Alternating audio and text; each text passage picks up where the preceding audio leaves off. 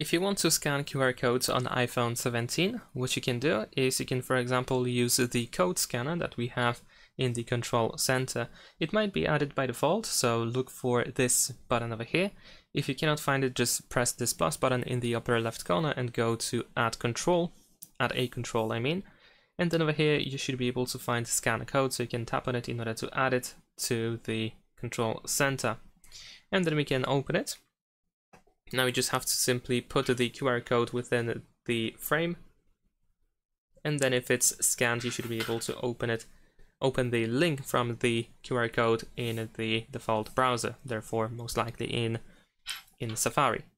In addition to that, you can also use the camera app for QR code scanning as well. Simply in the photo mode, you can put the QR code right in front of the camera, and then at the bottom we have the link that can be generated from the QR code, so you can tap on it in order to once again open the link in the browser. In case QR code scanning is not working, you can open settings, go to camera, and then over here we have scan QR codes which should be enabled. Thanks for watching, leave a like and subscribe.